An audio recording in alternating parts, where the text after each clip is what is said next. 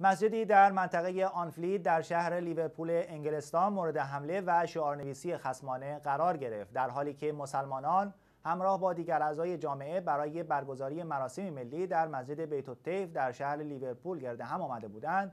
گروهی از خرابکاران اقدام به شعارنویسی با اسپری رنگی برای دیوار این مسجد کردند. حدود ساعت 8 بعد از ظهر مهاجمان شیشه های یک اتومبیل را شکستند و بر روی دیوار بیرونی مسجد شعارهای اهانت‌آمیز نوشتند.